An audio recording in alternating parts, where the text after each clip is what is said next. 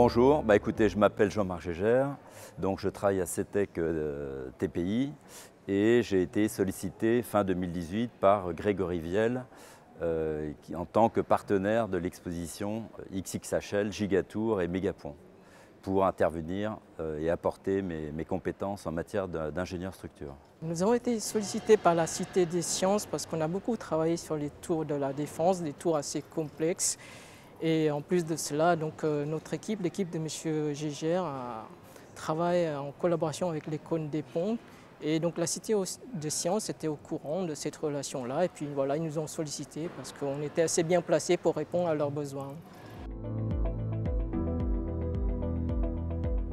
Dans le pôle structure complexe, on est spécialisé sur les tours de grande hauteur et dans le cadre de l'exposition, on a eu l'occasion de présenter les projets euh, suivants. Donc la, tour D2, qui est une tour située à la Défense avec un exosquelette, la tour Sister, qui est caractérisée par le fait qu'il y a euh, une, grande, une grande sœur et une petite sœur qui se tiennent par la main puisqu'il y a un pont qui relie les deux tours.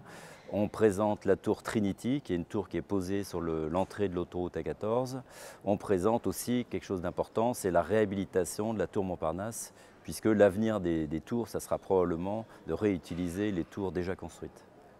Pour l'exposition, j'ai travaillé sur la table BIM spécialement, qui consiste à montrer aux gens, simplifier la chose. J'étais un peu programmeur, donc euh, c'est pour ça qu'on a, on a développé en plus des applications euh, en réalité euh, augmentée chez nous. Donc, connaissant la programmation et un peu le monde ludique, on a fait appel un peu à mes compétences.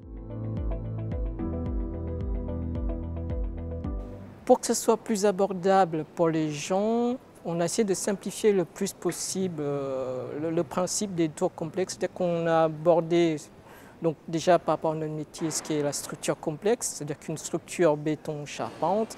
Après, on a voulu intégrer un peu dans la complémentarité, c'est-à-dire les, les, les, MIP, les CVC, etc.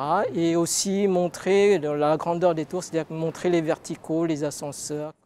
J'ai cherché à rendre compréhensibles aux visiteurs les techniques de, l'ingénieur, qui sont des techniques quand même assez, assez, complexes, en utilisant un peu mes compétences pédagogiques développées à l'école des ponts. Je suis euh, professeur de béton armé, j'enseigne également la structure, donc j'ai essayé d'exprimer de manière assez simple les outils qu'utilise l'ingénieur, en essayant d'expliquer le, type de, fonctionnement des différentes structures sous l'action du CI, sous l'action du vent, sous l'action des charges verticales.